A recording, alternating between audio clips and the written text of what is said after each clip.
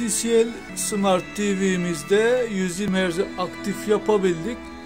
Hareketli sahnelerde tabii ki ciddi bir iyileşme var. Bulanıklaşma öncekine göre yarı yarıya düştü.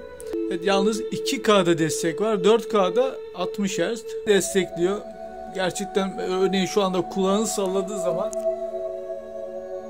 önceki izlediklerimize göre çok daha net bir görüntü var. Bulanıklaşma çok çok az. Peki 120 Hz'i nasıl yapıyoruz? Ayarlar butonuna bastık. Ekran, ses, uyku, bluetooth ve en sağda ayarlara girdik. Ayarlar menüsünden ekran ve ses ayarlarına girdik. Ve resim ayarlarına girdik. Resim ön ayarı var. Tuşladık. Bakın burada sinema, HDR, spor ve oyun var. Bir de PC var. Sporu seçtiğinizde bakın şimdi düşecek buradaki değer. Şu anda 60 Hz'e düştü. Gördüğünüz gibi HDMI 2.